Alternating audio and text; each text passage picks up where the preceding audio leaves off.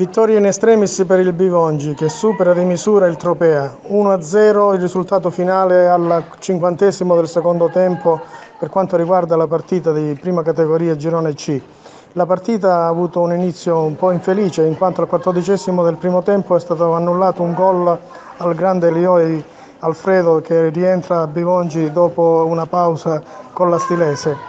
Il, la partita ha avuto un esito piuttosto infelice alla fine perché contestazioni tra entrambe le, le formazioni eh, al fischio finale, soprattutto da parte dei dirigenti che hanno contestato all'arbitro alcune decisioni. L'incontro ha avuto quindi un esito favorevole per la squadra di casa con un gol di Russo Mattia che ha segnato al 48 appunto del secondo tempo in pieno recupero il gol della vittoria.